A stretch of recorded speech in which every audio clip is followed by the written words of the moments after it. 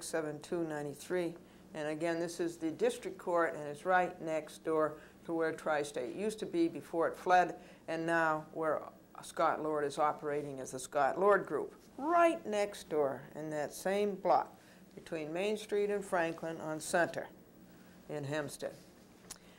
Uh, upon the affidavit of Scott Lord, duly sworn to on the 24th day of August 1993, and all of the papers and proceedings heretofore, head, herein. That's the way lawyers talk. Isn't that outrageous? Abuse of the English language. Let the plaintiff show cause before the presiding judge at Civil Part 1 of the First District Court of Nassau County to be held at the courthouse located at 99 Main Street, Hempstead, New York, on the 26th day of October, 1993 at 9.30 a.m. or as soon thereafter as counsel can be heard. Why an order should not be entered pursuant to CPLR 5015, 5015, vacating the default judgment herein on the grounds that the default of the defendant was excusable. Unbelievable. Ben, pending the hearing and determination of this motion, let the enforcement of the default judgment be stayed by the plaintiff, its attorneys or agents, and the sheriff in Nassau County. Sufficient reason appearing therefore, let service of a true copy of the within order to show cause together with the papers upon which it is based upon Bragenstein and Pact Esquires. We'll have to call them up. Uh, they've been the lawyers in several of these judgments against Scott Lord and Tri-State. Uh, attorneys for the plaintiff at 100 Merrick Road, Rockville Centre, New York 11530 by certified mail. Uh, return receipt requested on or before October 14, 1993. And upon the Sheriff of Nassau County by personal delivery at 240 Old Country Road, Mineola, New York 11550. Remember, that's where they were so appalled at page after page after page after page of Scott Lord judgments. Uh, let this service be deemed good and sufficient service, dated Hempstead, New York, October 13, 1993. Uh, enter Ralph P. Franco. It's nothing but a rubber stamp, uh, judge of the district court. So we'll have to wait and see how Judge Franco uh, rules on this, and then we'll have to go to the clerk, and we'll have to get a copy of it, and then we'll have to read it to you. This is October the 31st, 1993, Sunday.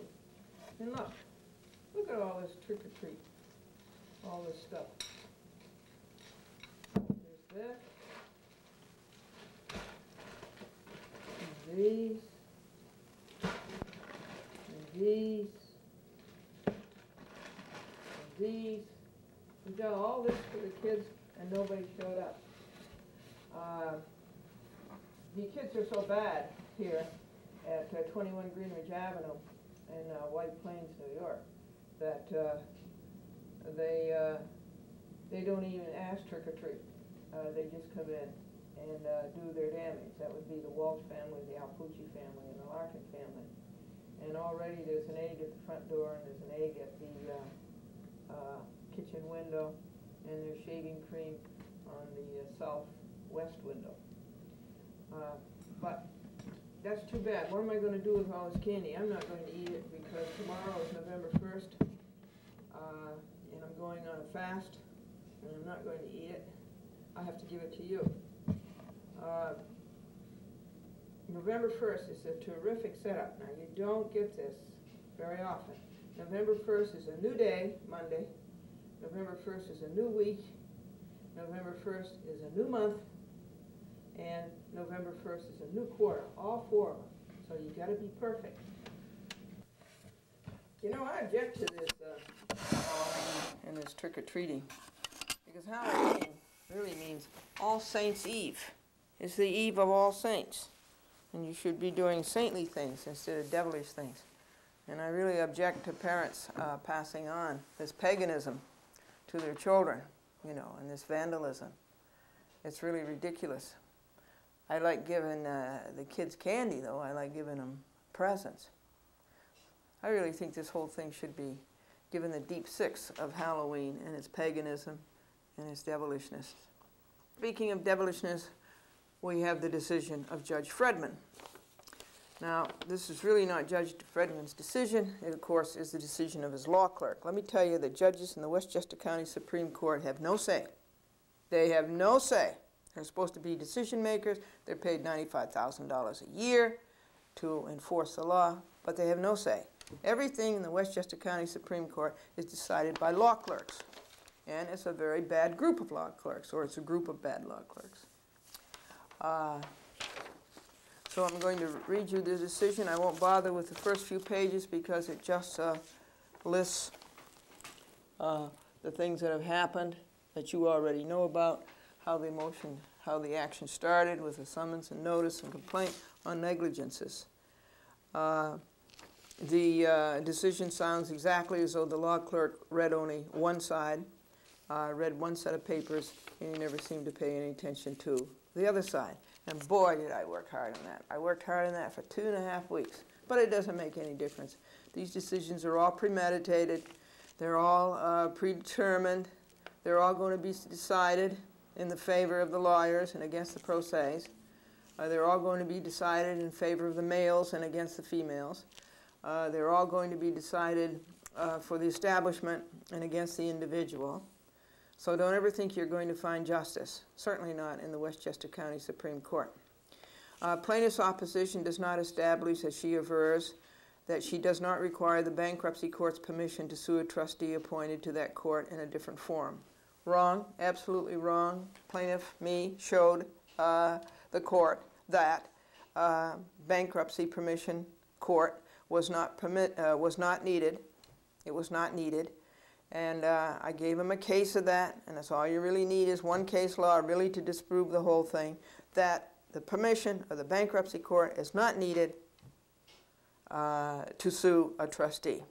Further, it's against uh, saying that the permission of the uh, bankruptcy court is needed to sue a trustee uh, is archaic because the Federal Tort uh, Claims Act uh, was the act of Congress to give a citizen a chance and a right and an opportunity to sue the king, who happens to be, in this sense, the United States.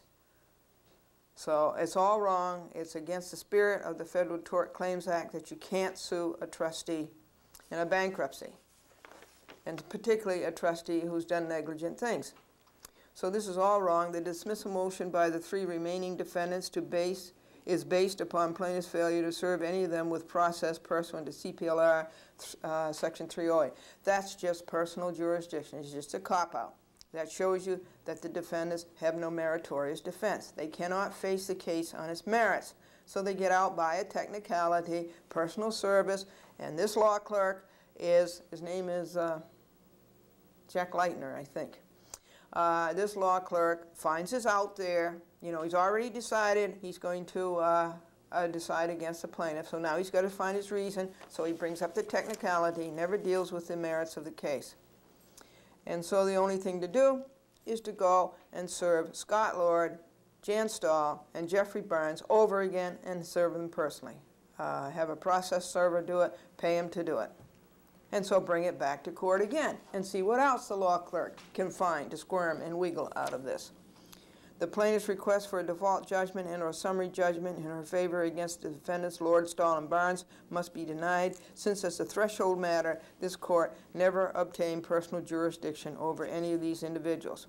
In addition, the answer of all these defendants, not only defendant Stahl and Barnes, as plaintiff asserts, is dated April 19, 1993 and was served upon plaintiff on April the 21st, 1993, not April the 26th, 1993. Wrong, wrong, wrong, wrong.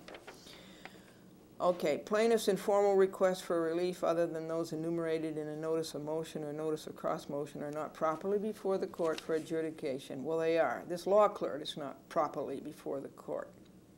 It is ordered pursuant to CPLR uh, sections 308, 312, etc., about the personal service, as well as for all the foregoing reasons that both defendant O'Connell's motion and the cross motion of the remaining three defendants, Lord, Stahl, and Barnes, are granted, while both plaintiffs' cross motion and her motion are denied in their entirety. What did I tell you? Okay, anti-female, anti-pro se. Uh, the complaint is dismissed as against defendant O'Connell based upon a lack of subject matter jurisdiction over him. I've gone over that with you. You can sue a trustee in the bankruptcy court. And this decision, as I say, is archaic and is dismissed as against defendants Lord, Stahl and Barnes based upon a lack of personal jurisdiction over them effective on the date thereof. There being no other defendants in this lawsuit in this form, plaintiff's entire complaint has now been dismissed. Trala! This constitutes the decision in order of the court. Now, this is a lousy decision. It has to be appealed. It has to be taken before the uh, judges of the appellate division. Uh, it's about time that the law clerks in the Westchester County Supreme Court did their work. And their work is to enforce the law, uh, not to come up with things that are so out of date, such as this. On uh, Monday night, uh, October the uh, 25th, 1993. Uh, Scott Lord called Glendora, and let me see if I can find that recording and play it for you.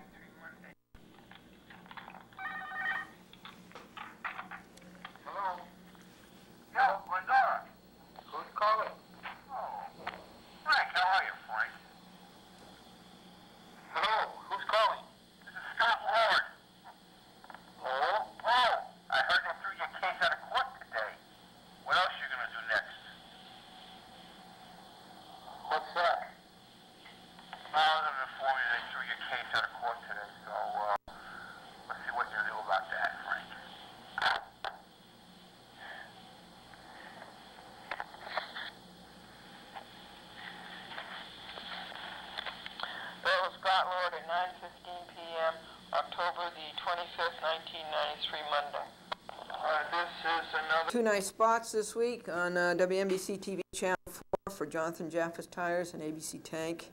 Uh, they were really uh, lucked out and they came in on the NFL programs right after the Jets-Giants game.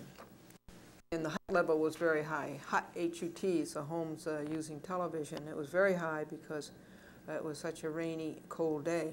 People were inside and the game on the other channel, Channel 2, wasn't interesting at all. Someplace San Francisco and somebody else. Uh, let's see. Uh, there's something else I wanted to tell you. Oh, I have a new telephone. It's a terrific new telephone. It has a display and it tells you what number you call and it has a stopwatch. It tells you how long the call is, how long you're on the phone. Uh, did I tell you that I'll be editing a chat with Glendora in Long Island? Uh, uh, on Cablevision. I'll be doing the, some editing out there. They're a wonderful company, Cablevision. They really deserve a lot of credit the way they do things. You're really lucky out there to have such a good cable company. And you know, it's the biggest one in the whole world. Did you know that? The biggest single system. TCI, of course, is the largest cable company. Uh, but this is the biggest single system in the whole world, 400,000 subscribers. Uh, was there something else to tell you? uh, uh, Jeffrey Barnes and uh, Jan Stahl uh, will not give me the information that I seek. Uh, over the telephone, he comes to the phone and in a very surly way, uh, he says, put it in writing. that's what I told him when he called me.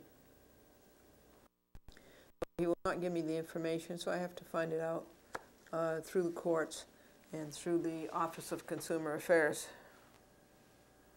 Well, I think that's it. We ought to find you a joke. Did you hear that IBM and Goodyear rubber are going to merge so that they can manufacture a computer that makes snap decisions? This is Glendora, a chat with Glendora, and don't you let anybody rip you off. You stand up for your rights. You have them. Keep the courage flaming. Bye-bye. This is what happened with Glendora versus Scott Lord, Jeffrey Burns, Jan Stahl, and others uh, during the week of October the 25th, 1993.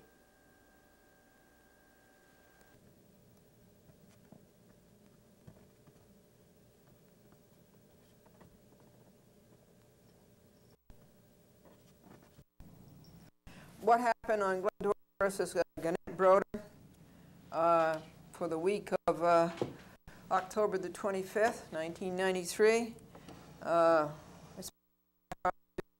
uh, Broder and for the TV program in chapters 45, 46, 47, 48, 49, 50, 51, 52, and 53 are tentatively scheduled uh, to be cablecast in Westchester for the next two months. Uh, tentatively, they will be cablecast in Harrison, Port Chester, and Cablevision. Tentatively, they will not be cablecast in Manhattan. And they are not scheduled for Nassau County. The affirmation in opposition to Kalaji's has been served. Uh, it was served at 3.30 uh, p.m. Uh, GCI is selling for 51 and an eighth. And the room clerk says, would you like a room with a tub or a shower? And the traveler says, what's the difference? And the room clerk says, well, with the tub, you get a chance to sit down. Two hours today on Broder, Monday, October 25th. And we checked the uh, clerk's files in the district court. And everything there finally is in order.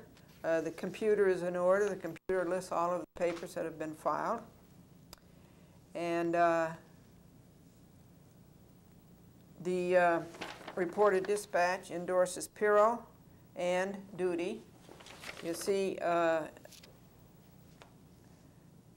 this is why no judge will rule against Gannett. The political boss needs these endorsements, he thinks. It is so political and so crooked and the sanctity of the courts they talk about.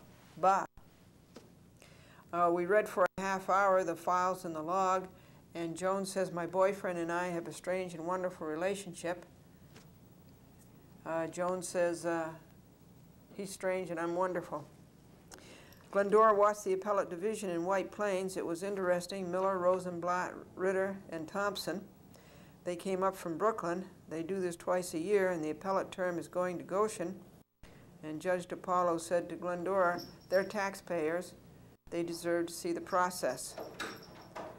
Uh, and Glendora said to him, yeah, what a guy. A chat with Glendora was on tonight. It was chapter 45, Gannett Broder. Currently, chapter 53 is awaiting editing, and there were three telephone calls. On the next page, you will see the first page of the calendar. It was five pages long.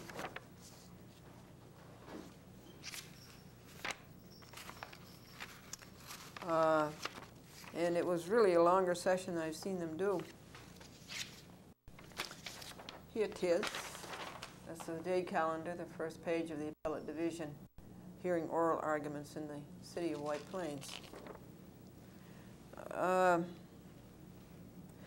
they had that big case about Yonkers. The Yonkers uh, Common Council, the City Council, uh, defied the order of Judge Sand the United States District Court in Manhattan about the housing way back. This case has been going on for years.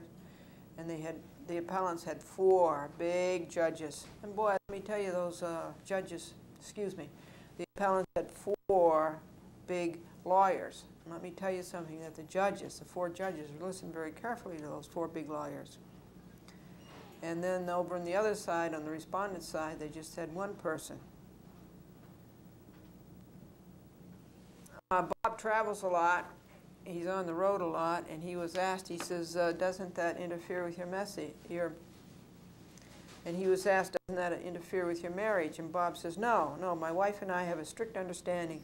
We write down what it was we were arguing about when I left, and then when I come back, we pick up where we left off. Uh, now, let's see what happened on uh, Broder. On Thursday, Glendora talked to Arthur Ochs Sulzberger Sr. this morning. He is the owner of the New York Times. He liked the joke of the day. Uh, and I'm reading The Laws of Service. And uh, Robert said, I just came back from a pleasure trip. And Bill says, where did you go? And Robert says, I just took my mother-in-law to the airport. On Friday, two of us spent an hour in the United States District Clerk's office. We checked the clerk's file and everything in it is there that should be.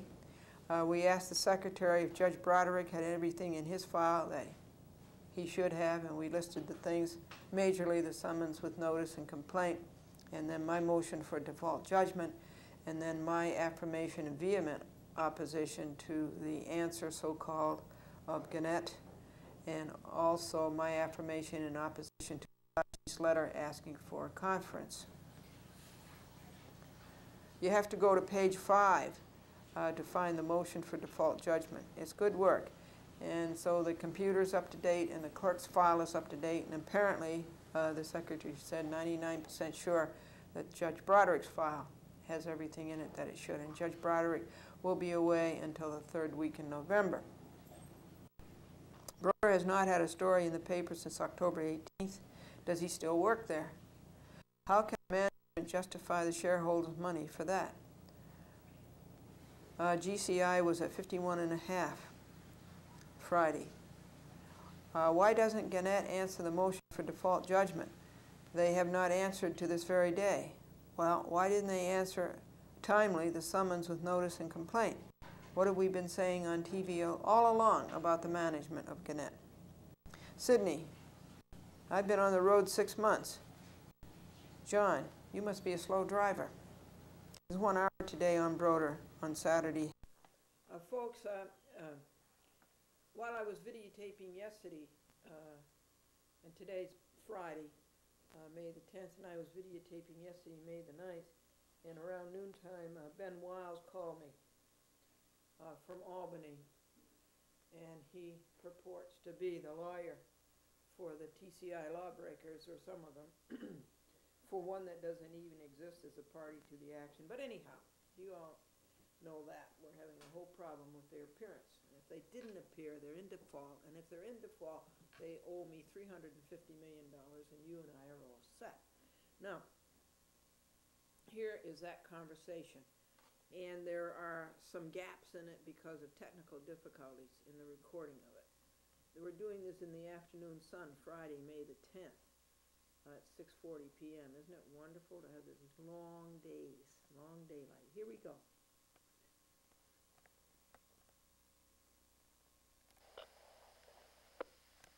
Hello, Glendora. Yes, this is Glendora. Hi, this is Ed Wiles. Uh, I'm, I'm sorry, you still there? Yeah, I'm here. Okay, I'm calling. I have, uh, papers he sent me. He sent me copies of papers with the notice of, notice of a motion you want to make to, uh, it says motion to reverse Judge Fox's order. You know what I'm referring to? Yes, what do you want? Well, I was looking at the, uh, I want to try and find out from, the, from Judge Rakoff what he wants me to do or wants us to do on this, and I thought best way to Well, uh, can, what date can you, um, uh, set a conference with me, and I will call Judge Rakoff, and you will be on the phone. Oh, I will call the, uh, the chambers, and you will be on the phone. So that's the way it has to be done. You can't call him without me being on the phone. Well, I was, I was looking at the rules, and it seemed to be, I was going to suggest that I just, that we, we're both on the line now. I was going to say, why don't I see if we can get the chambers on the line now also, and they'll. Okay. All right. Okay, Want to do that? yes, Okay, hang on, okay? yes. And then he disconnected himself.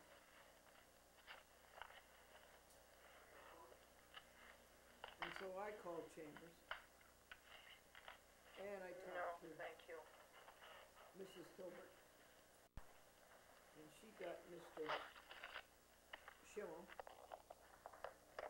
on the line, and he's the law clerk for Judge Rakoff. And you are a very cute little kitty cat. Cute, little cute. She's very cute kitty.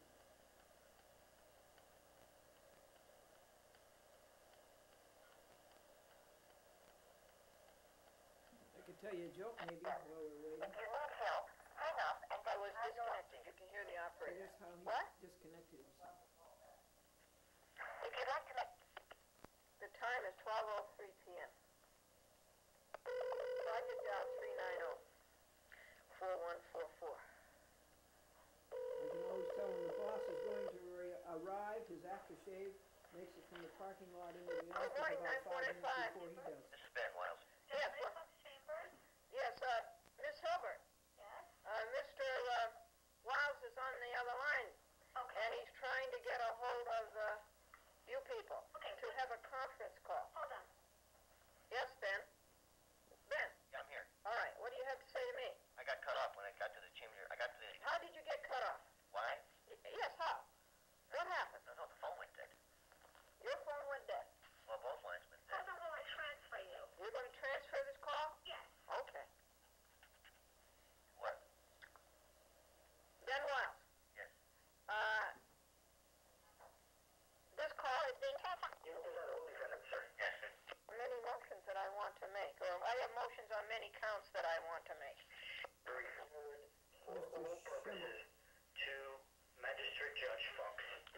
Not, not with my consent, it hasn't, and I believe you have to have my consent to do that.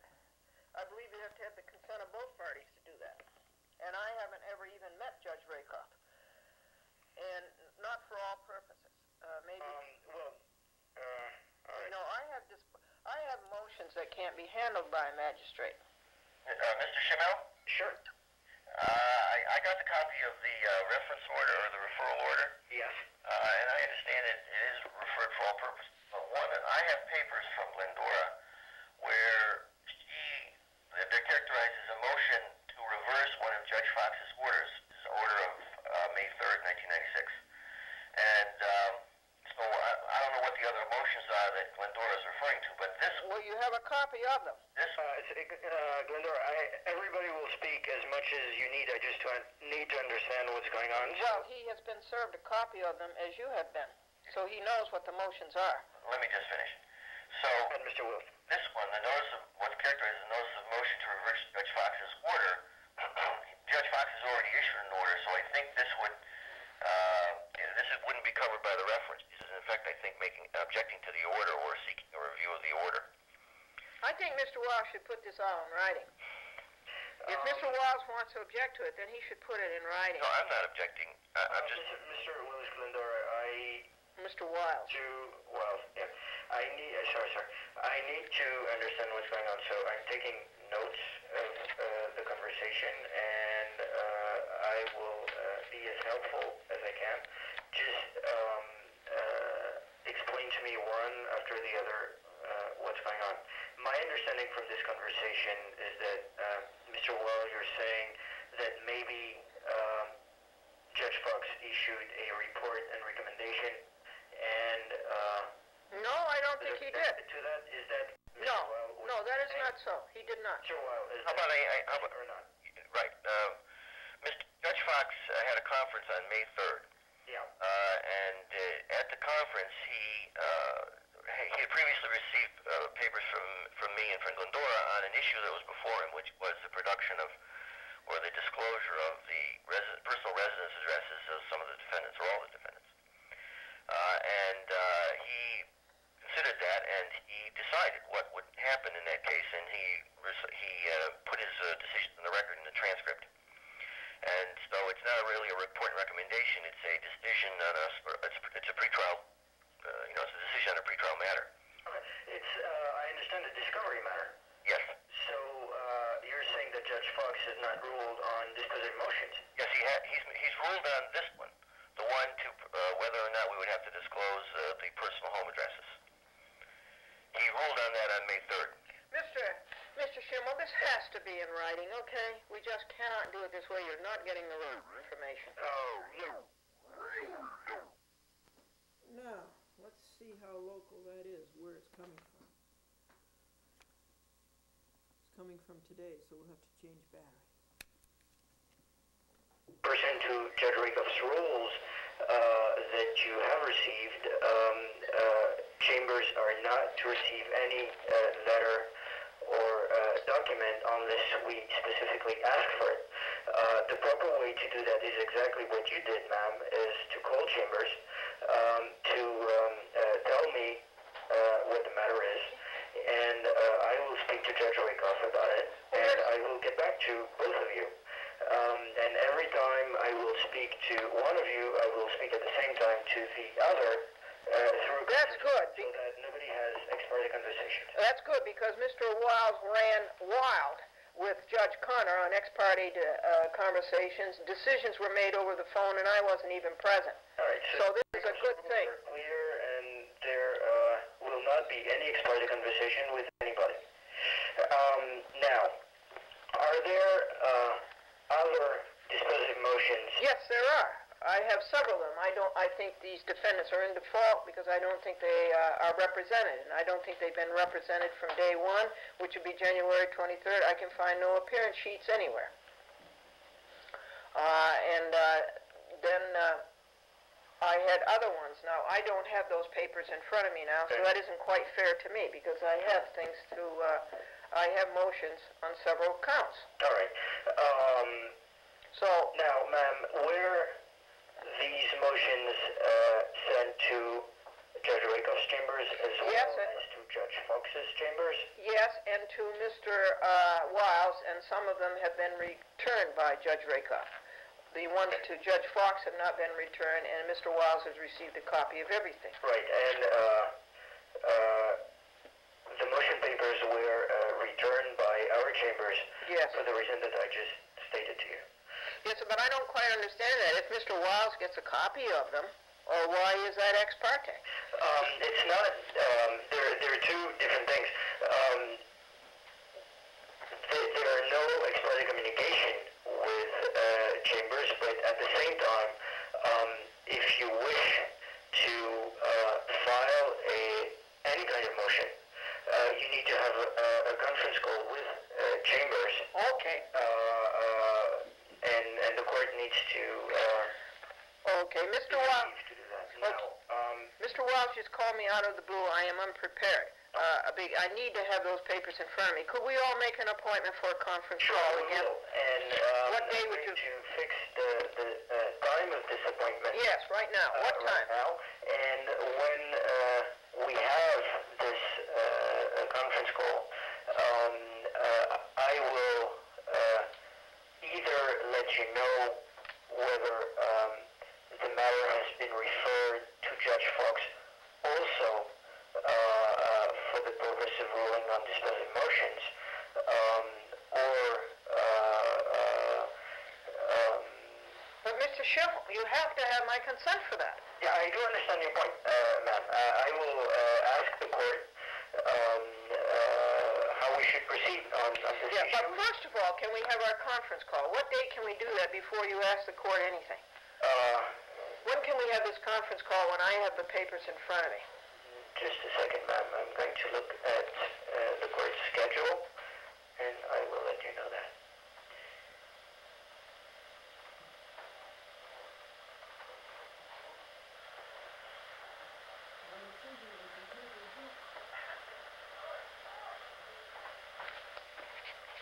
I'm sorry that it takes a... a Oh, don't worry about that. That's Okay, okay. so- That's okay. All right. Schimmel, S-C-H-I-M-M.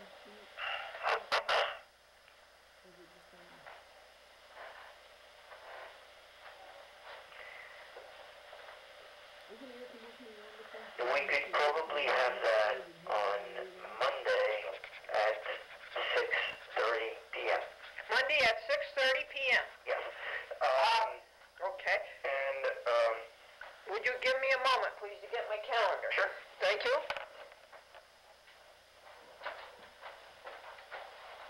How's your behavior on Hunt County doing this party?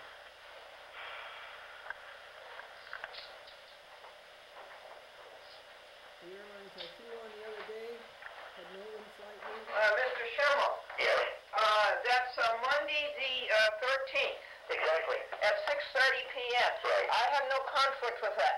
Okay. Uh, Mr. Wells, is it fine for you?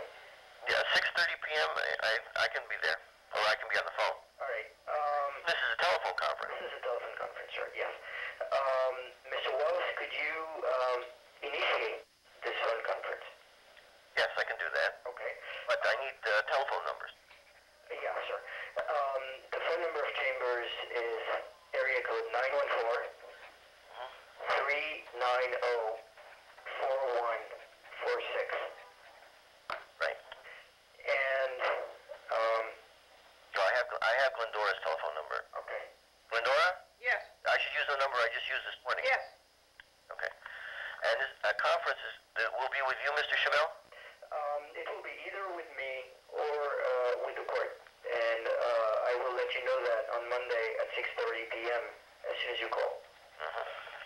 Okay.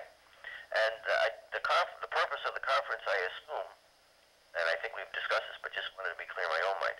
Uh, the purpose of the conference is to discuss uh, the various motions which Glendora wants to make. Yes. Right. Okay, and Glendora, Yes. uh, maybe uh, we could talk uh, now, or I mean, in a separate conversation about you know what those motions are, so I get a little notice about. You've been no, you've been advised of them. It was all sent to you just the way it was sent to Judge Rakoff. Right, and, I and to the clerk and to Judge Fox. Motion, and there are no other motions other than those which you have sent me some papers on. Is that right? Repeat? You're not, you don't want to talk in this conference on Monday. You don't want to have a conversation about any motions other than those that you sent me papers on. No comment. All right, the, the phone uh, conference on Monday will uh, address the motions that um, uh, Glendora has uh, filed with uh, with the court. Uh, uh, any motion and and the specific uh, issue that uh, will be addressed on Monday, Glendora, um, is uh, whether these motions will be pending before Magistrate Judge Fox or before this court. No, I do no. understand. Now, that's something altogether new to me. This is the first time you've hit me with that. Okay. Uh, I, I'd say the whole thing about Judge Fox uh, is that this has been done without my knowledge, if it has been done, and I don't know what has been done. And uh, no, uh, if you want to put me uh, something in writing in preparation for the Monday conference and going to Judge Fox, that's different. But Uh, uh, we, we, we, uh, that has just been dropped in my lap, just this minute, by you. okay. Um, the purpose of the um, conference call on Monday will be to determine um, whether uh, the motions uh, that you wish to make um, will be pending before Judge Fox. No, I no, I never, I never asked for that. Well, this is this is uh, the, me No, I'm not prepared to do that. I'm prepared to talk about my motions that I submitted at least two weeks ago. Yeah, but But uh, this Judge Fox thing is all brand new to me, and, and I'm not prepared to talk about that Monday. but this is uh, You, you have given me nothing in writing. Uh, I only uh, two or three days ago uh, got your letter of reference to Judge Fox. I didn't even know that, uh, and everybody seemed to know that before the plaintiff did.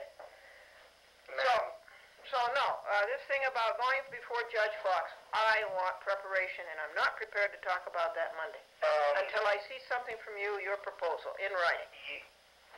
ma'am, uh, Chambers will not uh, write anything else before the next phone conference with you. Okay, then we're not talking about reference to Judge Um, Fox. at you want to do it at some other point? Uh, Yeah, we'll, we'll do the Judge Fox reference at some other point after you have informed me what you have in mind. Uh, Glendora, the, what we are going to discuss at the next phone conference is um, whether are going to be uh, before Judge Fox. No, we aren't. Ma'am, No, no, that's a bomb. Finish. Uh, That's a bomb that you just dropped to me now. yeah, but And I'm in the middle of uh, videotaping my program. yeah. We're here to talk about the motions, not about me dumping me onto Judge Fox. Uh, I have to have that in writing, and I have to have something and know what you're saying and what you're prepared to do. I have to Um, see something in writing. you received uh, this individual rules of practice. Now look, Mr. Schimmel, I am not going to be railroaded. I have to see something. I have to see something. I have to. individual rules of? Don't change the subject, please. I have to see something in writing, and I am not prepared. I am not prepared to talk about uh, this uh, rake off, copping out, and dumping me on Judge Fox. I'm not prepared to talk about that Monday because you have given me nothing in writing. Okay. I am not Uh, prepared to talk about that Monday.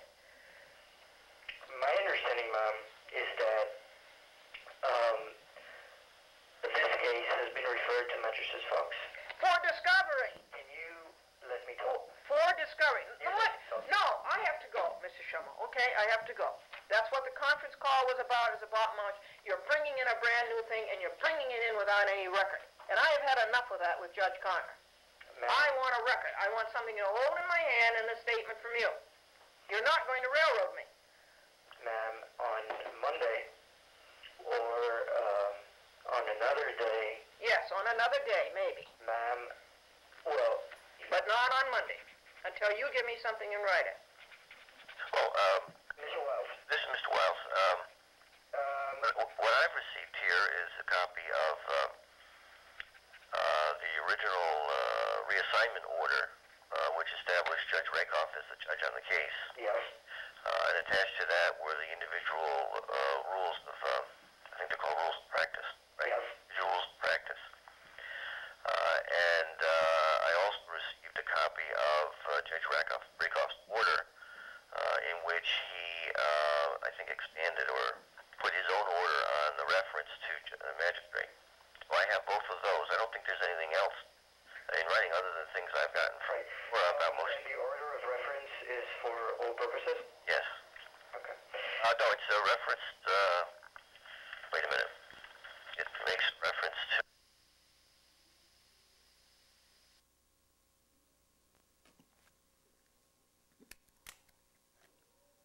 Okay, folks, that's the end of the tape. Uh, what happened after that? Uh, well, I just pointed out that, uh, it's the law. Reference to a magistrate judge is purely voluntary. Okay, they have to have my consent. I am entitled to a United States District Judge, and so this bothered me all night long, and this morning, I think I got up at something like four AM and I wrote out my objection. Now, there's no good to write out your objection because Judge Rakoff will not accept correspondence. So let me read you the, uh, my position on that, even though it can't be sent to Judge Rakoff. It really seems to me that a judge has, the more a judge knows, the better it is, not the less he knows. Just a second. So here is a letter. It can't go anywhere because of the blackout in uh, Judge Rakoff's chambers. Mr. Schimmel, law clerk for Judge Rakoff, United States District Court, Southern District of New York, 300 Quarropas Street, White Plains, New York, 10601, regarding Glendora versus John C. Malone et al., 96 Civ 0140 JSR. Dear Mr. Schimmel, Glendora was busy videotaping her program May 9, 1996, Thursday at noon under deadline to get all the reports done by 3 p.m. when she edits the program 4 to 7 p.m. And then Ben Wiles telephones her. If Mr. Wiles would stay off the telephone, as in so many uh, offenses with Judge Connor, and put things in writing, Dora's due process would not be violated so often in this case. Mr. Wiles wanted to discuss Glendora's motion to Judge Rakoff to reverse Judge Fox's order denying home addresses. Judge Connor gave her February the 28th, 1996 which Judge Connor didn't keep his word on and which Judge Fox didn't keep his word on to enforce it. Pressed for time, Glendora decided to call you to the telephone conference method Judge Rakoff mandates. The motion to reverse Glendora was prepared to discuss, but not all the other motions. She had no time to get all the papers out of the file drawers and study them, and she had to get the videotaping done in time to edit the TV show. Uh, she certainly wasn't prepared to discuss the bomb you announced that Judge Rakoff was dumping her case onto Judge Fox, U.S. Magistrate, for everything, including trial. Your saying so was her first realization of saying, here Glendora was looking forward to her new judge, and already it is turning sour the way it did with Judge Connor. Judge Rakoff returns papers instead of meeting justice. There are no submissions on paper. There are no conferences in the courtroom. How do the raging disputes get resolved? What is a judge for? This is failure to exercise decision-making authority which undid Judge Cattell in 1994. The local rules under, quote, magistrates, unquote, I can't find mine, I must have left it at the U.S. Court of Appeals Wednesday, but at the bottom of the second page, right-hand side, it says, only by consent. Glendora does not consent. Glendora is vigorously opposed. Glendora applied in March for Judge Fox to recuse himself. He would not. It was a refuse to recuse.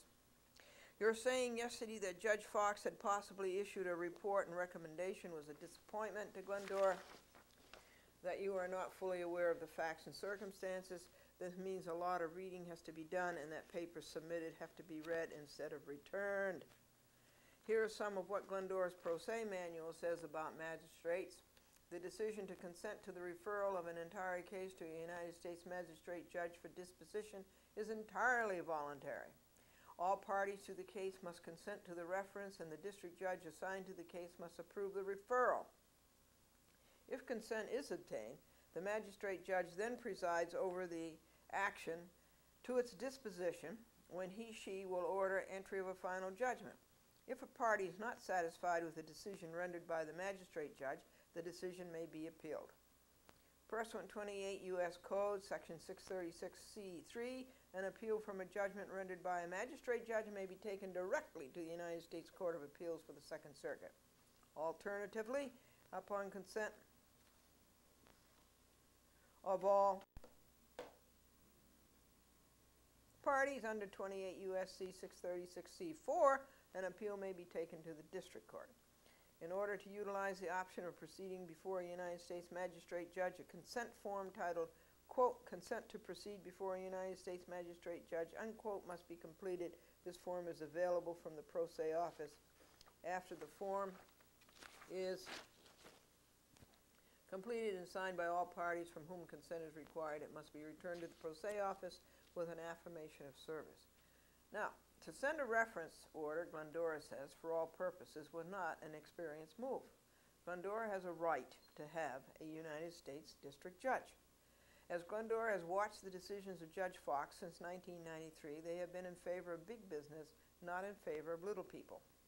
Not accepting telephone calls unless both parties are on the line is an excellent standard. Ben Wiles manipulated Judge Connor on about eight decisions made ex parte over the phone without Glendora's being heard extend the time to answer uh, 20 days instead of granting default judgment, backing down on the order for home addresses, turning it over to Judge Fox, uh, robbing Glendora of 10 defendants, taking jurisdiction of the case away from the United States Court of Appeals, and others listed in papers submitted to you earlier this week. Glendora was severely damaged, prejudiced by these denials of her due process by Mr. Wiles and Judge Connor. This is what precipitated Judge Connor saying, I'm a senior judge, now look, Glendora, I don't have to stay on this case if I don't want to. I can get off this case if I want to. Do you want me to get off this case and let one of the other judges handle it? Glendora, yes. Judge Connor, very well then. I'm off the case. Thank you. This is the report Glendora was giving on TV that Malone Magnus TCI uh, censored April the 30th, 1996, 9.08 p.m. to 9.30 p.m. by turning off the audio.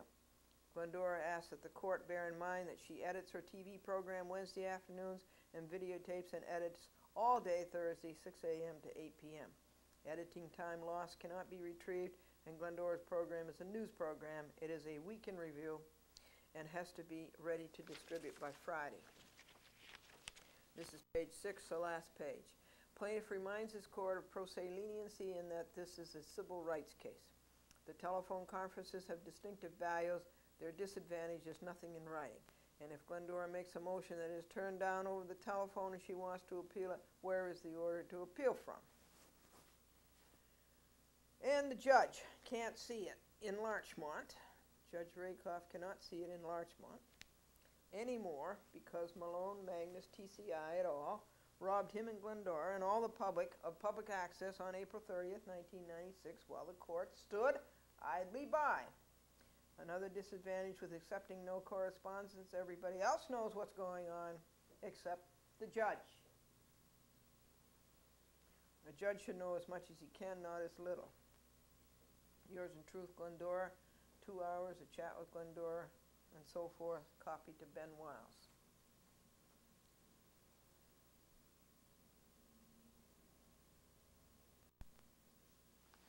I must tell you that my uh, lawsuit Glendora versus Telecommunications Incorporated.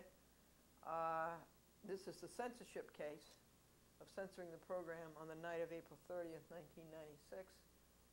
Uh, that that has not gone before a judge yet. It does not have a docket number, and the in forma pauperis has not been approved yet. I found that out from the pro se clerks today. I am happy, happy, happy, happy to report to you that I was able to do the TCI filing for the last two weeks, uh, from April the 26th uh, to today, uh, May the 10th. And uh, these, I was able to uh, paginate. And uh, these are the papers that were pulled out. And these eight and a half by 11 papers were reduced today uh, at Office Max by Franklin. And it took an hour and three quarters and it cost three dollars. And I'll show you the cute little pages that he reduced them to. He did them so neatly. These. Now I will have to take these and my copy machines is the best for this, is to make masters of these so that you come out with four on a sheet, four pages on a sheet to hold down the printing costs and hold down the postage. And it doesn't include the most recent paper you just heard read.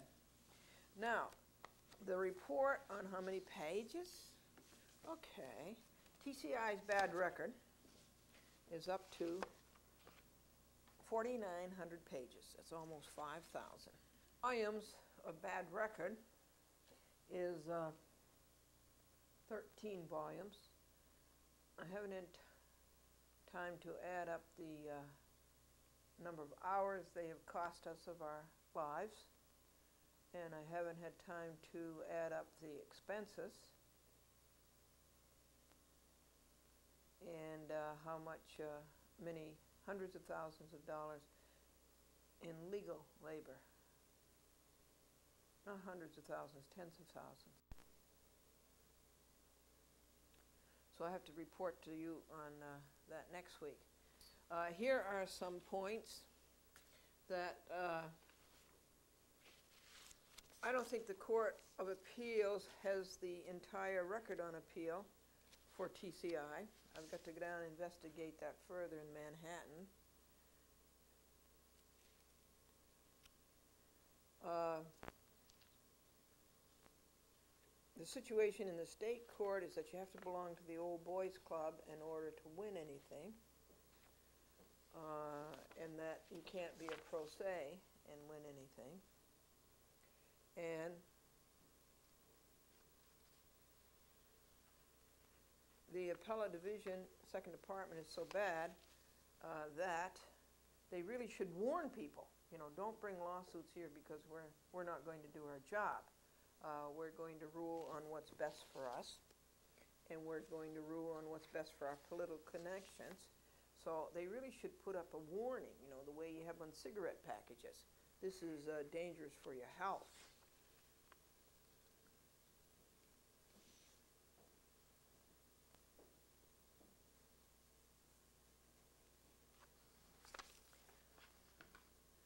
The next page is four thousand nine hundred and eleven. Uh, let's see what other thoughts are jotted down here for you. The file is in order up to uh, May the tenth, nineteen ninety-six, Friday, today, and that was at seven forty-four AM. And Franklin says that uh, all the judges go off in opposite directions. Uh, you don't have really any standard, you know. Uh, every judge, it's too much personality, is what it is. There's too much personal stuff in a judge's decision. There, it isn't scientific. It isn't uh, uh, exact enough. You know, one judge will rule on the same issue. One judge, well, you take 14 judges, they'll all rule 14 different ways. And Glendora wants Ben Not Wiles to know this, that anything addressed to Glendora Buell, even if it's also addressed to Glendora, will be refused because Glendora Buell is not a party to the action. And then he will be in default with his papers. Remains to be done on uh, TCI is to add up the hours, add up the dollars, uh, to read that uh, uh, third batch of uh, discovery papers that I demanded, and a lot that I didn't demand, and not and missing some that I uh, did demand, and, uh, and they're not there.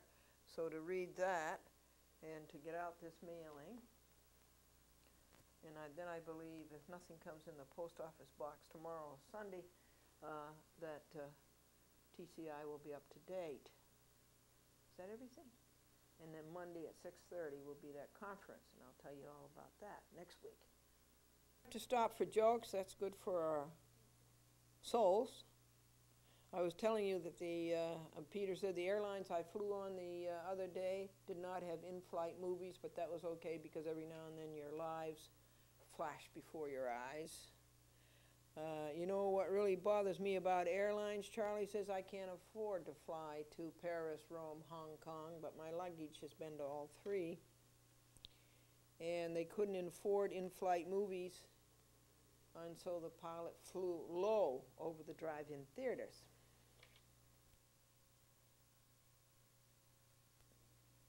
Uh, as much as I love my dear friends, the clerks in the United States District, District Court in White Plains, I've got to write the boss, Mr. Parkinson. And I got to tell him that they make errors. We all make errors. But I've told him about these errors three and four and five and six times, and they're still in the record. And then when you ask them to change them, they come up with the craziest excuses. Uh, like, uh, well, we don't have the record. It's down in the Court of Appeals. Well, you have it on the computer. Change it on the computer. Uh, for instance, they have down that the cause of action for Glendora versus Cablevision is prisoner civil rights, 1983. I've never been a prisoner in my life. I've never broken a law. I've never been involved with a, with uh, people versus or the United States versus. Never. I could sue them for that. Damage to my reputation. Now, instead of putting down prisoner civil rights, and I told them this several times, they put down civil rights. It's a civil rights case. So, Mr. Parkinson, you've got to do something with these people. I told them uh, yesterday uh, that uh, Rudolph is not a defendant in Glendora versus Cablevision. The name is Randolph. And they start off the uh, case was saying Glendora versus Cablevision Systems Corporation, Cablevision Systems Corporation. I'm only versing one cable systems corporation, and there is only one. Simple enough to take that out, but they've got to give you an argument. So I guess I'll have to appeal to the head honcho, Mr. George Parkinson. Franklin and I got dressed up this morning at 8 o'clock, and at quarter to 9, we left for the uh, Supreme Court, State of New York, County of Westchester. 19 floors of injustice.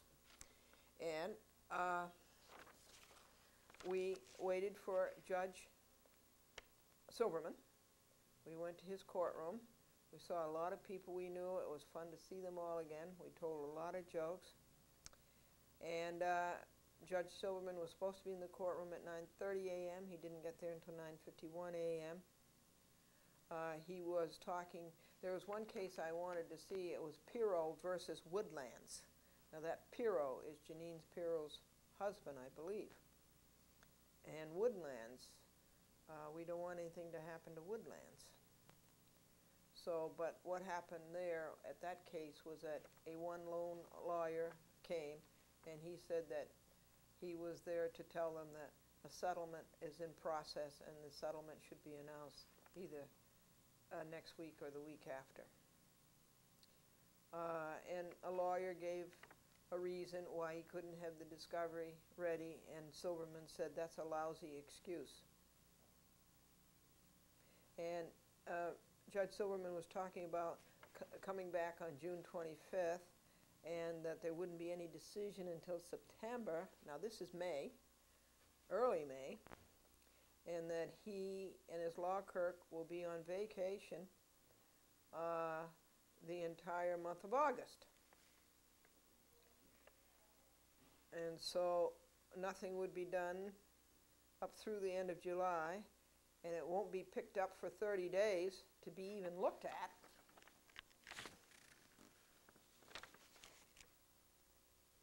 Uh, and he said, we look at the papers all at the same time, both sides, all at the same time.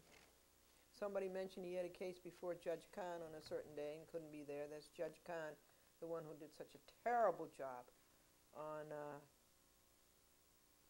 the case against the Commission on Judicial Conduct, which is a sham.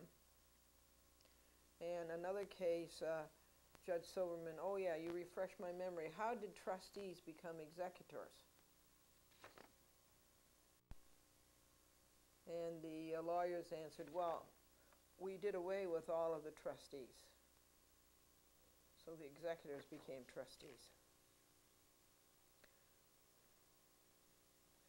Uh, Judge Silverman, when he'd finished all the cases and the courtroom was almost empty, said, Does anybody else have anything to bring toward me? And I believe he was addressing myself. And uh, then another man said something, and another man said, and then everybody was out, and there was only Judge Silverman left, Franklin, and myself. and uh, he says, You haven't anything to bring before me? And I said, No. I said, This is the return date, May 10th. And I once did not appear on a return date, and it was bad. And so I don't take chances anymore. When I hear a return date, even if everything's on submission, I go. And I said, uh, He said, All right. And I said, I don't want those contracts. He says, Okay. He says, Tell the other side. He says, I'm sure they won't bother.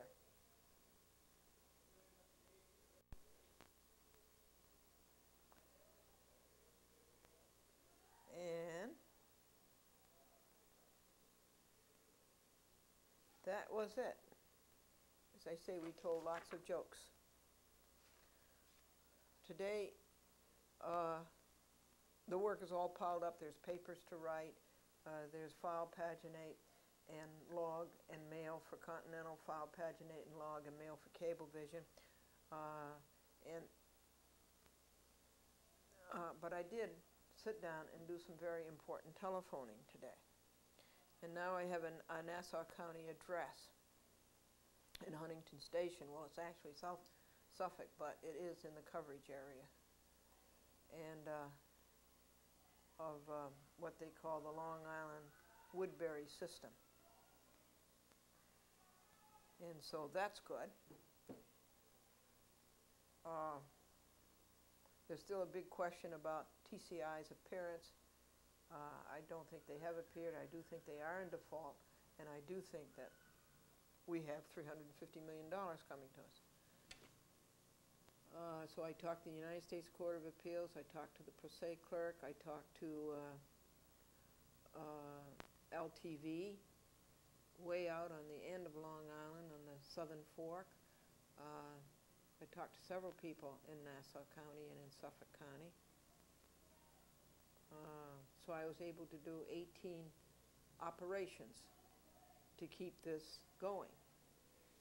Folks, uh, this completes the reports uh, from uh, May the 2nd to today, May the 10th, 1996, Friday night at 7.40 p.m. Uh, and we'll have you three jokes and then the Bible passage. If you look like your passport photo, folks, you're not well enough to travel. And the popularity of antiques is really something right now. There are 25 million Americans who have things that are old, funny looking, don't work, and are kept around for sentimental purposes. They're called antiques or they're called husbands. And the tour guide says this building has been here for over 300 years. Not a stone has been touched. Nothing has changed. Nothing has been replaced. And the tourist says they must have the same landlord we do.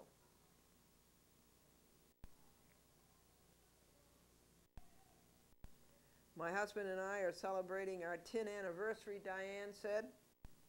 Seven years of eating out of cans. Remember this about all persons who do you, uh, who take away your rights, that every one of us, and that includes judges, so then every one of us shall give account of himself to God. That's Romans 14, 12. And God bless you all a press announcement for you. The Center for Judicial Accountability, a national nonprofit, nonpartisan citizens organization working to reform the processes of judicial selection and discipline, supports Bill number 7484 on today's agenda of the Senate Judiciary Committee. The bill designed to give the public greater knowledge about the workings of the system and instill greater public confidence in the process of disciplining judges marks the first step in opening to the public the now confidential proceedings of the New York State Commission on Judicial Conduct. It would require that, once the commission institutes disciplinary proceedings against a judge, the hearings be public. Everybody else's are, and the same applies to lawyers. However, the Senate's position is that this bill does not go far enough. Only the smallest percentage of complaints filed with the commission each year result in disciplinary proceedings against a judge. Last year, out of more than 1,400 new complaints, the commission commenced uh, disciplinary proceedings against only 19 judges. Yeah, that's right. The commission justifies these minuscule numbers by claiming that the vast majority of the complaints it receives, which it dumps without investigation, are frivolous or do not constitute misconduct. Oh, yeah. Old Boys Club. It is able to maintain this pretense because these complaints are statutorily confidential, which means the commission can say whatever it wants about the complaints without anyone, including legislators, being able to verify the true facts. The bill does nothing to remove the the confidentiality surrounding these complaints against judges, which overwhelmingly never reach the investigative stage. Okay, I'll read you more next week. Uh, this finishes uh, the book today on the uh, second department, appellate division, Supreme Court of the State of New York. And these are the last three judges. And this was uh, Gabriel Krausman, New York Law School, member of Law Review, first in his graduating class, Brooklyn College, an honors graduate of New York University, judge of the Civil Court of the City of New York, which is one of the worst courts there is, in 1980, Supreme Court bench for the Second Judicial District in 83. You know how bad Supreme Courts are. He was served as a justice of the appellate division, second department, since 1994. I remember when he was appointed.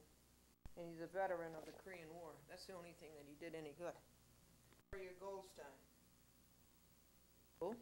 56. Many of them went to the Brooklyn Law School.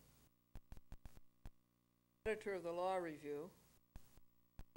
Highest scholastic average in the graduating class judge of the Civil Court for the City of New York, acting judge of the Criminal Court for the City of New York, Supreme Court Justice for the Second Judicial District. They all follow in the same footsteps.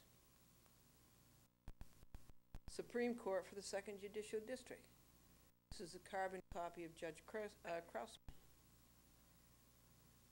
Justice for the Appellate Division since 1994. I remember when she was appointed. This is the last one. And the reason they have to keep appointing justices for the Supreme Court, I mean, the appellate division, is that we have so many bad justices in the uh, Supreme Court, Westchester County. Anita, graduate from Manhattanville College, 58, Fordham College School of Law, Fordham University School of Law. Uh, assistant district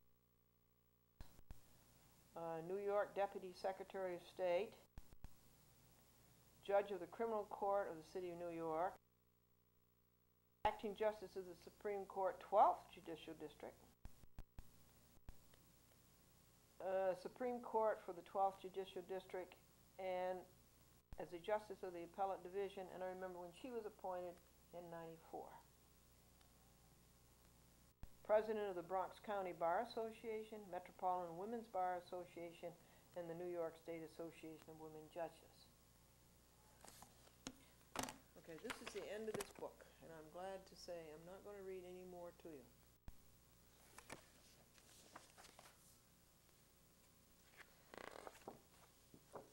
Here are all of the bad judges, all in a row. And you've never seen any more injustice come out of anywhere than out of the Appellate Division, Second Department, Supreme Court of the State of New York. Uh, It's the worst court we have. And it makes all of the other courts bad. If we had a good appellate division, second department, that was honest and honorable and had a backbone and stood up for right, we'd have good courts other places. Their conclusion is, we celebrate our first centennial and approach the twenty-first century with many of the same hopes and aspirations that were held in eighteen ninety-six. The only hope and aspiration I have is honor, honesty, and justice. An optimistic outlook that our citizens will continue to have recourse to an appellate tribunal that is firmly grounded in traditions of justice and equity and in an abiding faith in the preeminence of the rule of law. What a lie. They never rule on the law, they never rule on the facts, they just rule on the basis if they like you or not, or if you have a political connection, or if it's going to do them good politically. That's how they rule. They rule on what is best for them. Our hopes are buoyed by the experience of the last 100 years in which countless thousands of people, rich and poor, have had their disputes resolved. Yes, resolved in the favor of the judges. Not by bloodshed or violence, and I'm not sure that the appellate division beats bloodshed and violence, but under our open portals in a setting de- designed to promote tranquility, justice, and fairness. They know nothing about all three. The appellate division, second department, Supreme Court of the state of New York.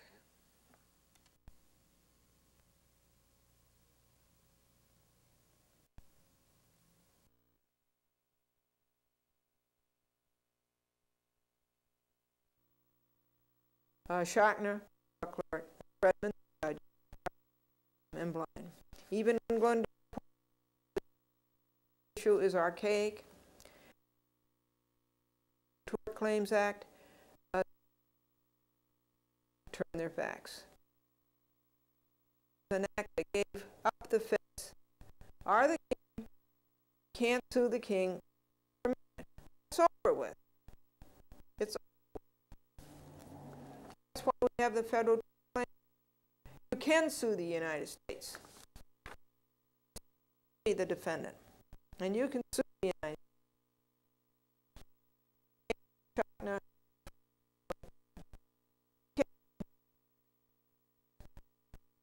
The last word will not. The public has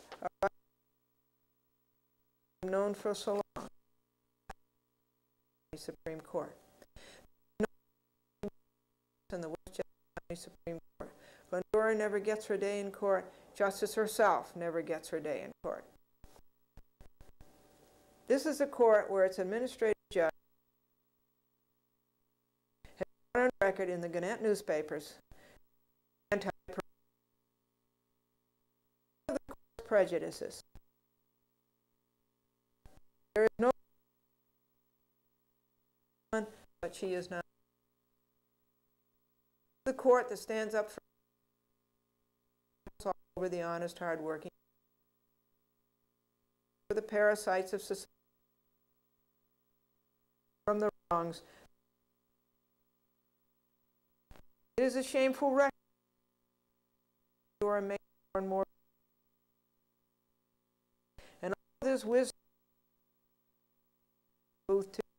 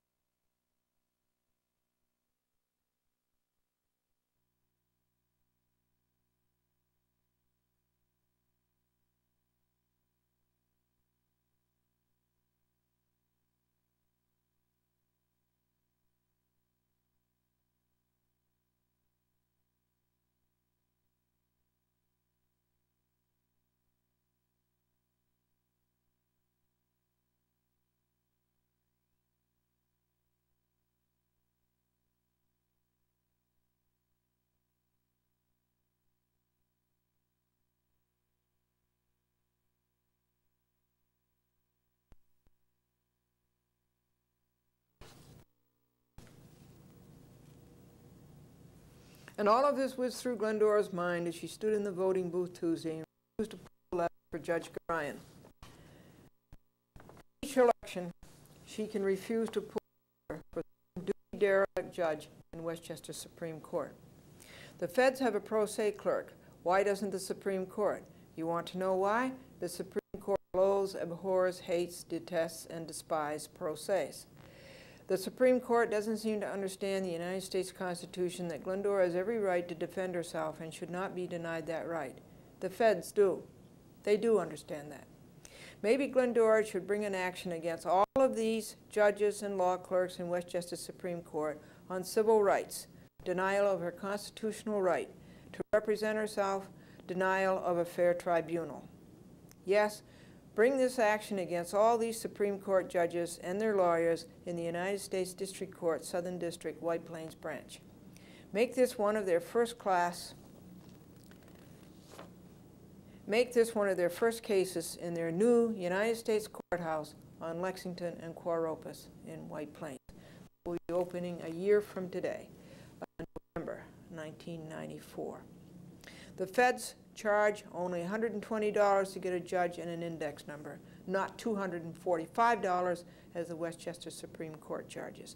The federal clerk in her papers even addresses her instructions to counsel and to pro se litigants.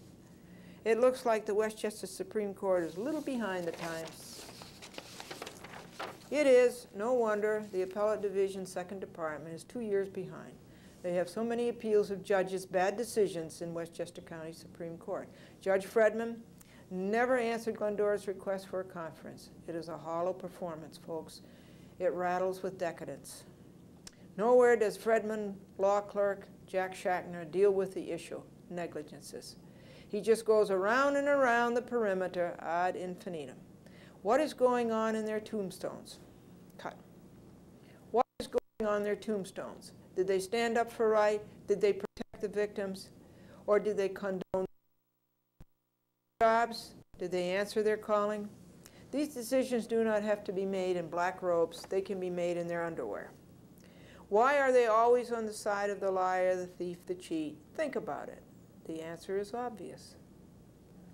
With her TV show, Glendora has done more to show these up than any judges in Westchester Supreme Court ever have. This decision is as bad as the first two Fredman's law clerk made, and that is a horrible record. O'Connell had the same service as Lord, Stahl, and Barnes, but the law clerk goes on making a decision on O'Connell's motion. It is a, such a sham. It is such a masquerade. This decision is stacked, rigged, premeditated, predetermined, contrived, and artificial. These law clerks just see one side, their own side. They do what is best for themselves. They never read the side they don't like, let alone apply the law, let alone deal with the issue. Job in the world has to be a law clerk or a judge. And along with this is their unbearable arrogance. The epitome of law clerks' arrogance is Jeanine Pirro's law clerk the six-foot Baldwin. He struts around like a peacock, except he has no feathers. Justice is blind? No, deaf, dumb, and blind. Oh, and today's joke, other than what you have just read? Mary, did you have a hard day in the courthouse, dear? Peter, yes, the computer broke down and I had to think. This ends what happened with Glendora versus Scott Lord, Jan Stahl, Jeffrey Barnes, and others on what happened the week of November the 1st, 1993.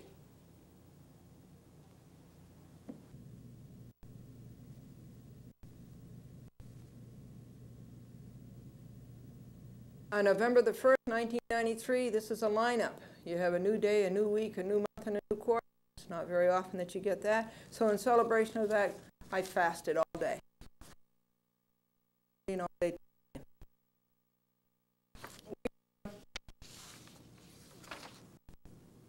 went to the Bronx and we picked up a check from a client who's going to go on WNBC TV. And our, uh, Broder had an article in the newspaper, what do you know? It was about people uh, having their backs rubbed. Uh, and then uh, on Tuesday election day, we voted and we started working on the Form 18A that uh, Kalaji is crying about, uh, the defendants didn't get. Uh, He's trying to delay it because he doesn't have a case against the antitrust charge. Uh, And so uh, we're going to uh, serve the summons with notice and the complaint over again, and this time we're going to put in the Form 18A, and I'll show you that in a minute. And uh, the, uh, how did you like the elections? Del Vecchio is out, so Amacone is going to be out.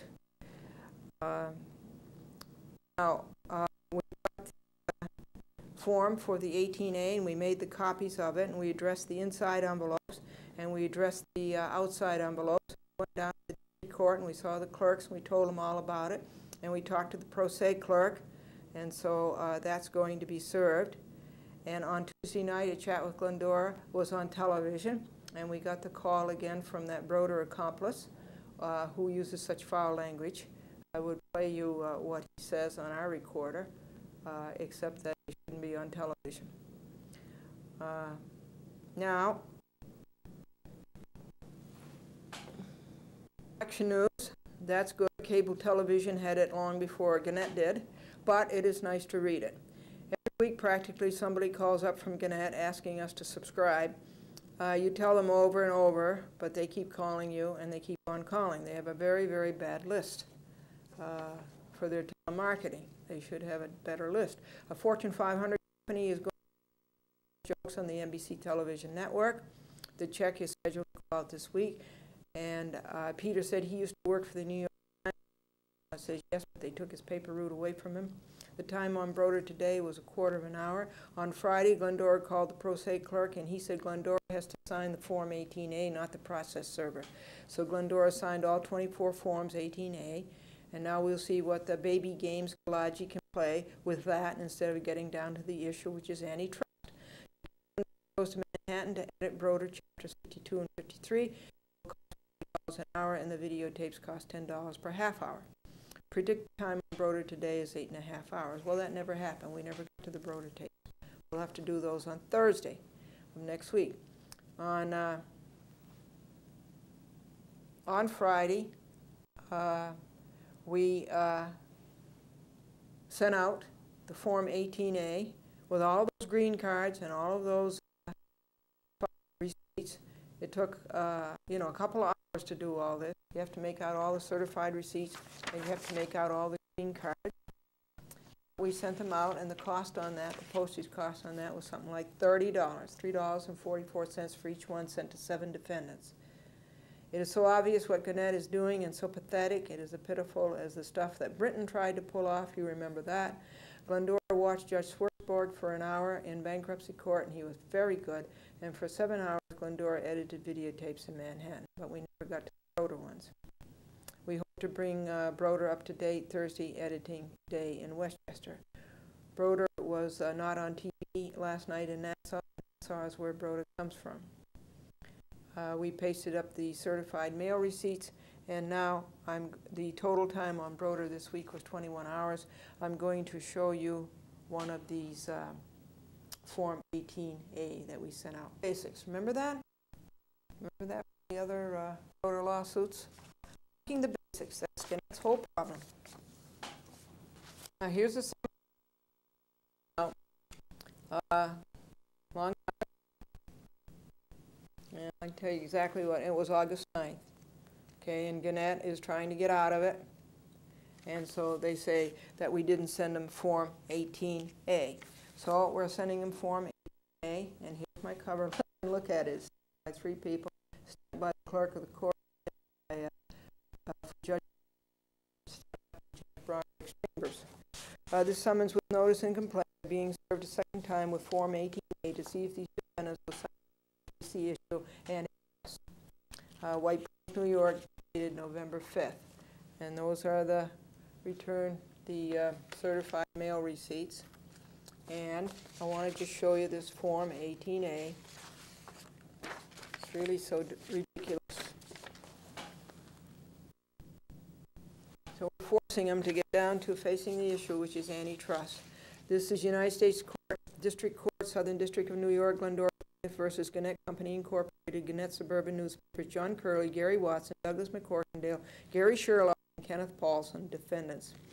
And case number 93 Civ, civil, uh, 5561, notice and acknowledgement of receipt of summons and complaint. And this is the notice. And you take each one, this is before Judge Vincent Potter, to Net Company Incorporated, the first defendant. The enclosed summons and complaint are served pursuant to Rule 4C2C2, the federal rules. Must complete the acknowledgement part of this form and return one copy of the completed form to the sender within 20 days. You must sign and date the acknowledgement.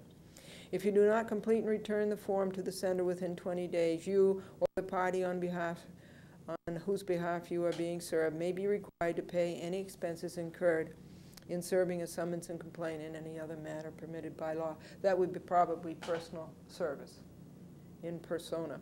That would be where you hand it to the uh, person personally, and you'd have to have a process server do that, and the cost of that would be something like forty-five dollars per defendant. Now, if you do not complete and return the form, you must answer the complaint within 20 days. If you fail to do so, judgment by default will be taken against you for the relief demanded in this complaint, and that's $600,000. I declare under penalty of perjury that this notice and acknowledgement of receipt of summons and complaint will have been mailed on November the 5th, 1993, Glendora. And then their part of it is down here. They have to fill in this part. Acknowledgement of receipt of summons and complaint, I declare under penalty of perjury that I received a copy of the summons and of the complaint in the above captioned matter. And then who will have to sign this would be Gannett Company Incorporated. We had to send out seven different ones. Gannett Suburban Newspapers, John Curley will have to sign his, Gary Watson will have to sign his, Douglas McCorkindale will have to sign his, and Gary Sherlock will have to sign his, and Kenneth Paulson will have to sign his. So Charles he used to work for the New York Times. And his mother-in-law says, yeah, but they took his paper route away from him. This is Glendora, chat with Glendora, and this is what happened on uh, Glendora versus Gannett Broder, on 1993. And keep your courage flaming, and remember, don't you flunk the basics.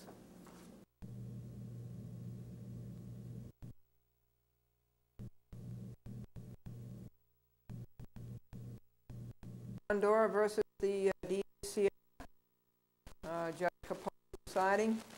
Uh, the week of uh, November 1st, 1993, we went to the county clerk's office to look at the file to find a copy of the order that Judge Capola finally signed. Uh, he signed my order. He didn't sign the DHCR's order. Uh, we thank him for that. But we went to the county clerk's office to find the file. No file. It was missing. Nobody knew where. Uh, I called uh,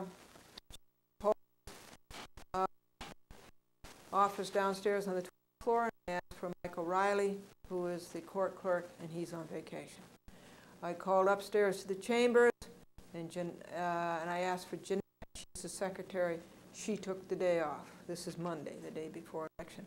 They're going to Loaf Tuesday. Isn't that enough? They got to take other days off. So she was gone, and I let it known, be known uh, what I thought of that. Uh, this is in addition to uh, their having received uh, my report on Monday uh, of what I thought of their performance and what I think of the DHCR. It's that long log, uh, you know, that I keep every day and that I read to you, and that was sent out to them. I think that had a whole lot to do with the decision. Immediately, practically the next day, I get a decision. And it's a very, very bad decision, and it's done very badly. Well, uh, so I will read that to you, and uh, I will write my protest to it.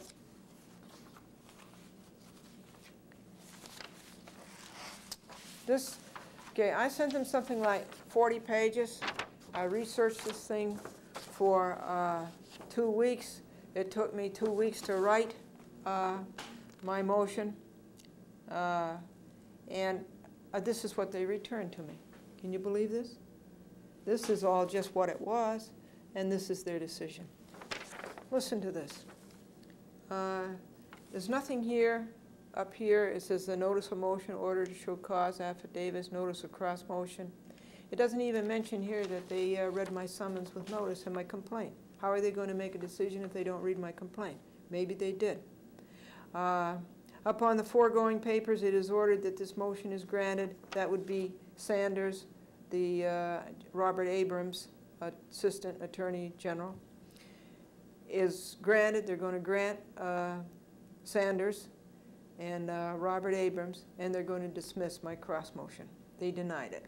The complaint is dismissed as to the state defendants. The complaint fails to set forth a legally cognizable claim sounding in negligence against the moving defendants. And I only gave them, you know, a whole list of negligences.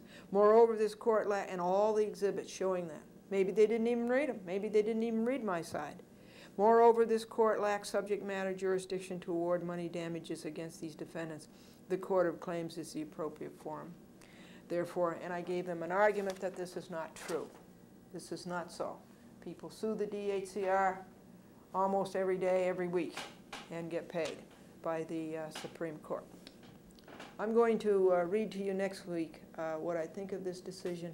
I'm just telling you this week that I think that because of what I said about Jeanette taking off Monday, and because of the report that I sent out about the DHCR and about how bad Judge Capola's performance was, he had an order before him to sign August 23rd. He never signed it until October 25th.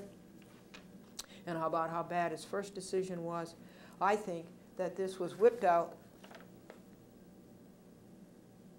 as a vendetta. And I think very often that's how things are decided in the Westchester County Supreme Court.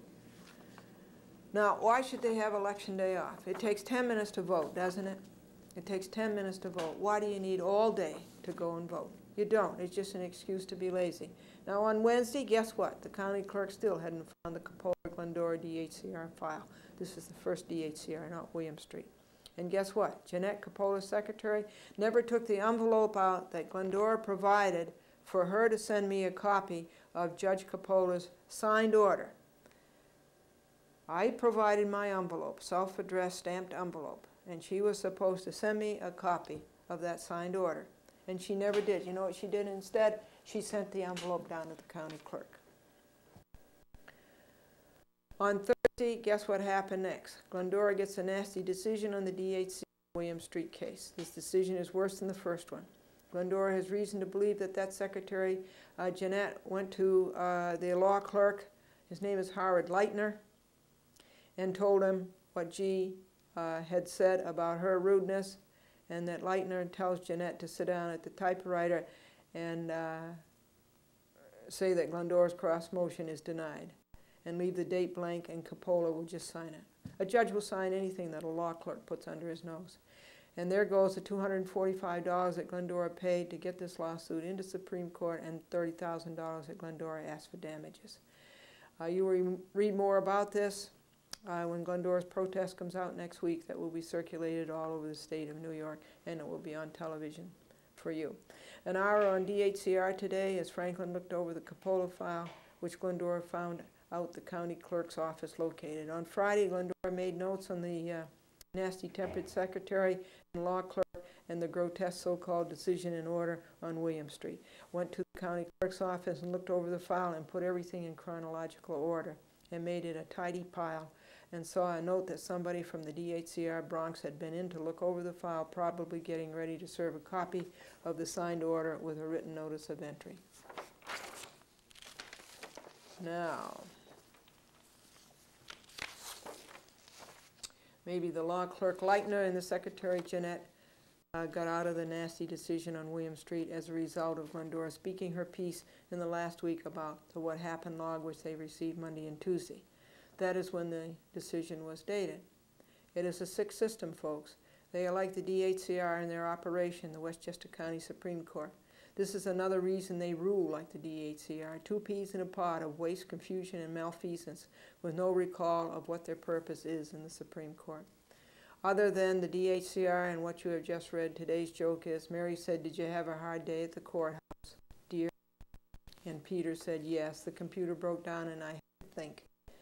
Time on the DHCR yesterday was one hour, and a quarter, half an hour today bringing the what happened log up to date and writing down what to say in protest to the Capola's William Street uh, flimsy paper. Tomorrow, videotape it for TV.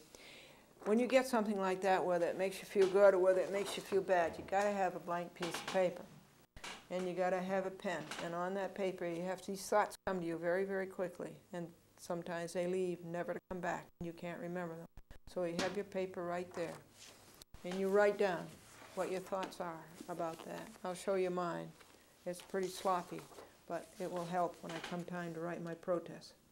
These are the thoughts that went through my mind when this screwball paper came through. And you write them down. And then you sit down and you write your protest. Or you write down your joy.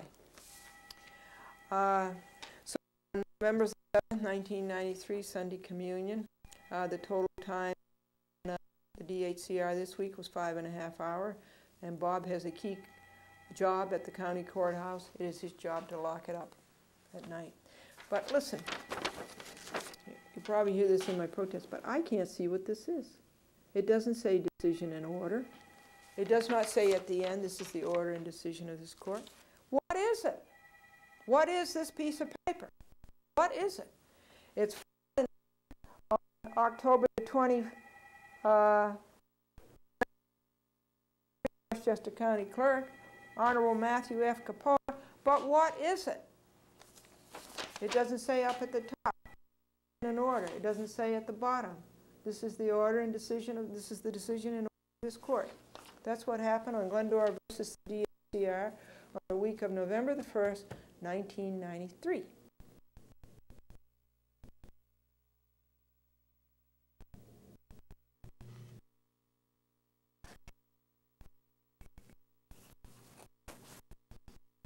Uh, what happened on Glendora versus Lydia Gallicano on the week of November 1st, 1993? Ah, here it is.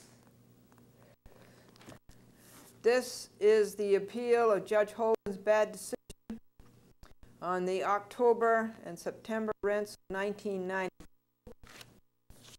Uh, here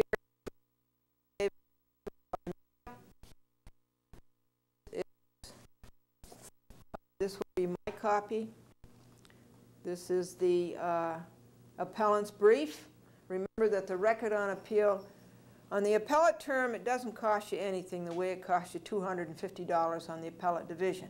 On the appellate term, it's an appeal of an action in uh, a town court or a village court or a city court.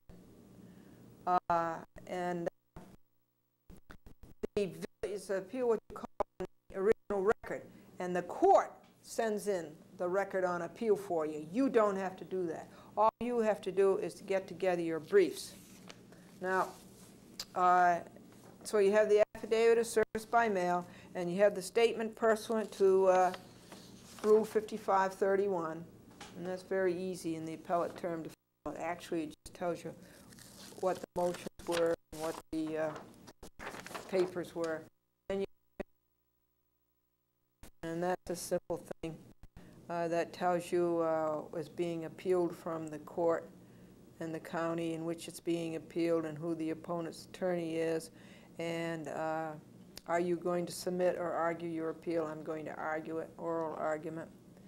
And uh, who filed the note of issue, Glendora, and the date it's filed is November 12, 1993. So, and then you have to send two post, two postcards. One, they'll notify you when your oral argument is, and the other one they send to the opponents.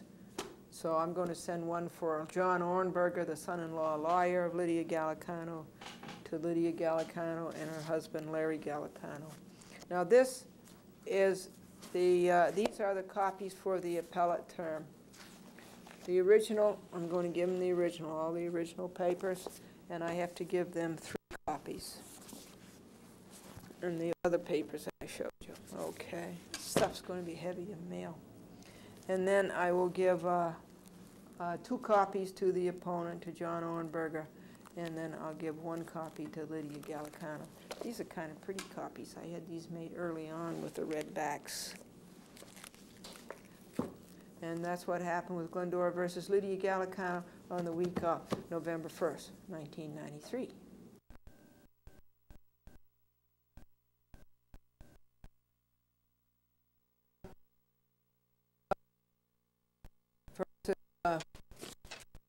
Philip Amicone, Building Commissioner of White Plains, Alfred Del Vecchio, the Mayor of White Plains, and the White Plains Building Department on the week of November 1st, 1993. They're out. Del Vecchio was not reelected. And uh, the uh, brief, the appellant's brief that was sent to the clerk of the appellate division down in Brooklyn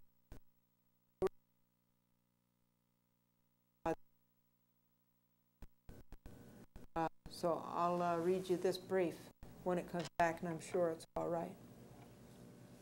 So uh, Del Vecchio was not reelected. He lost the primary. And uh, I have said, uh, I think that this uh, really added up. Uh, The inefficiencies of the library, the White Plains Library, uh, the same of the White Plains Building Department, the same of White Plains the city courts, and uh, the same of the uh, White Plains Police Department. I think that it's time for a change and that these uh, departments uh, do the job that they're supposed to do and looking out for us, don't you?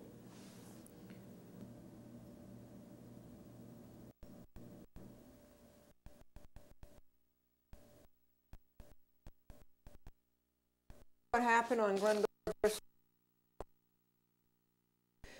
Vice President Senior Network Sales, that would be Joseph Eversett and Peter Lund, Beth Bresson, Matthew Margot, and Steinfeld.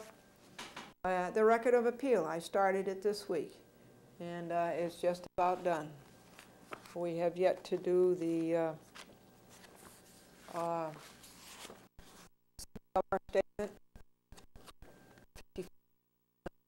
What was the action of the case, the summons and complaint, the answer, was a motion to dismiss, and my cross motion, not to dismiss it, but to pay the uh, $120,000. There's a picture of Mr. Tisch in it. It's a picture of Laurence Tisch. And uh, then the table of contents, and that will be done. And then that will go down to the appellate division for the clerks to look at to see if I did anything wrong. I'll save it for 90 days. When I have to perfect, all the copies. And that's what happened on Glendora versus CBS Inc. on the week of November 1st, 1993.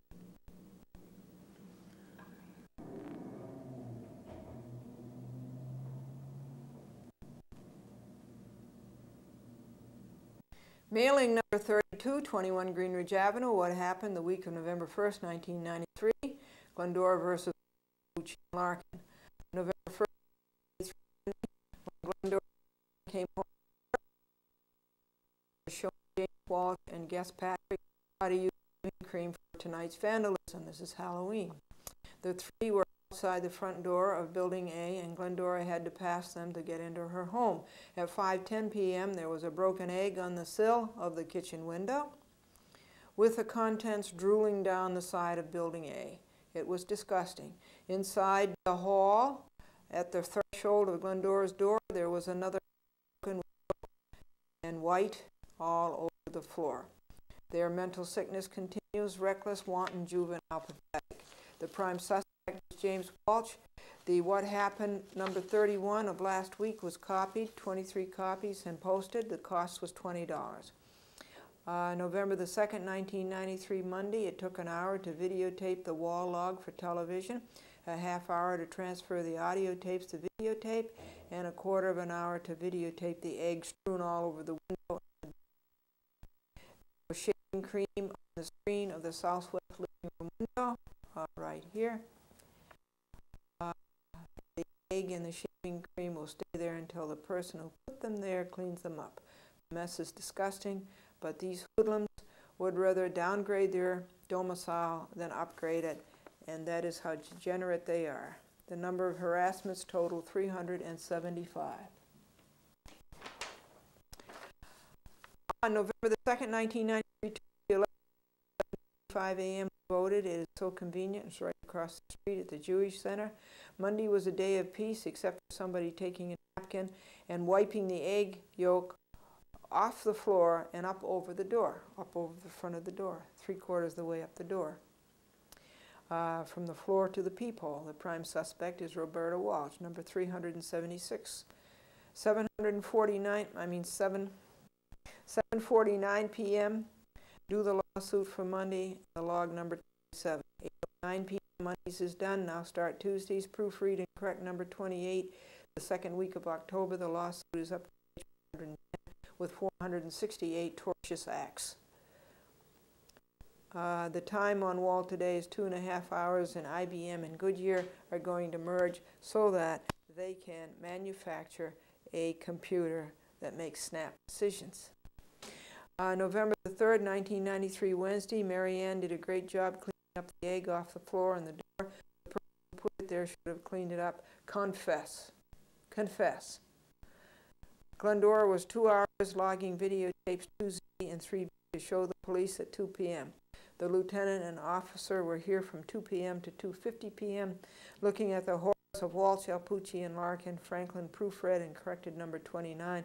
There was no time to do the other wall jobs, four hours on wall. Franklin proofread and corrected number 30. There is just one more to go. The countdown ticks on. That took an hour. Pete was bragging that he had a plant manager job with IBM, and his mother-in-law says it's his job to water them. 12:26 p.m. Write the lead in for numbers 29 and 30. Glendora successfully negotiated that deal with a Fortune 500 company to put her jokes on the NBC television network. The check is on the way. The time on wall today is two and a half hours so far, with four hours of editing to do this afternoon, which will equal six and a half hours. Ed gave up his job at Midas Muffler. He found out that it was too exhausting. Here is what the, was accomplished on the editing today. 1331 Walsh chapter, 1331 a chat with Glendora Alpucci Larkin, chapter 10 was finished. The footage off of the 8 millimeter tape 3B, the old chapter 8 that the police have, along with old chapters 5, 6, 7. The noise ordinance breaking of May and June and aggravated harassment calls. The archives VHS was made. 1332 was laid down, cleaned up. No VHS archive. Chapter 11. The audio tapes transferred to videotape. James Walsh Patrick, uh, Kevin Walsh, A. Hallway. Who is the new detective? 1333. Uh, the first 20 minutes laid down, Diane Williams will not need the three-quarter inch dubs. Egg on the floor, egg on the door, egg on the window, shaving cream on the window, guess who? Uh, November the 5th, 1993, Friday, 7 hours Franklin and 7 hours Glendora today on wall, editing in Manhattan. The cost was $160 it cost to edit those videotapes. The purchase of eight new three-quarter inch videotapes was $75. The total was $1.75. What got done? 1332 VHS Archive, Chapter 11, 1333 finish uh, the audio tapes that were on videotape, clean it up, VHS 1334, the first 10 minutes laid down, and then finished all the wall footage for the past seven months. All of the wall footage, videotape footage, from April to November is done. It's up to date. It's ready to go on the cable TV. It's ready to be televised. That big wall editing job is done. There was no cleanup of Chapter 13 and no VHS until the next 20 minutes is laid down. This frees up time to start laying down Glendora reading the what happened logs and get them edited and get them ready to be televised. Now the time on wall today is 14 hours. There was no time to work on the lawsuit. Mary, what kind of a day did you have at the office? Dear Peter, it was awful. The computer broke and I had to think. November 6, 1993, Saturday, four hours burned up on labeling, filing, planning, the wall videotapes, sorting them out and scheduling them and planning what to edit this Thursday. Glendora called John Porzio yesterday to tell him she would not be able to come and see him because of the Manhattan trip. Poor Marianne had to work so hard to clean up the egg off the threshold and off the door. The egg on the window is still there. The shaving cream is still there. The fire department at 7.40 a.m. was here. It was somebody in the back. There were six pieces of apparatus. It, uh, they were here less than 10 minutes, and Glendora videotaped all the excitement. You'll see it on TV. No torts since number 375 Sunday. 1.30 p.m. Do the wall lawsuit for Friday, number 31, what happened? Insert Candy Alpucci's sister blew her horn twice on November the 5th, 93, Friday at 7:20 a.m. Nella Alpucci blew her horn once the same day, one minute later. Glendora fasted for two days. It is nice to exercise the discipline. No letters have been returned this week. The count of uh, harassments and law breakings so far is 378 since April 1993. 2:30 p.m. Check the CPLR for service upon an infant. Uh, in this lawsuit.